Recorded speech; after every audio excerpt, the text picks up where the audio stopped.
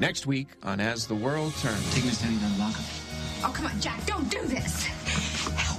I don't want to look at you, and I don't want to think about your damn baby. No, Katie, stop it! What? Oh! Ah! Looks like Paul went through in a hurry. What does he keep in here that he might need? His passport.